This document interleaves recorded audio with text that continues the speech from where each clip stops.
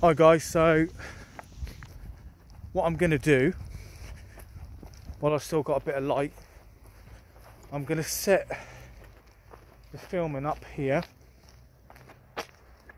I'm going to put the light source coming from there. I'll set the tripod there, overlooking here. Um, so basically, I'm, I'm running out of light, but it doesn't matter.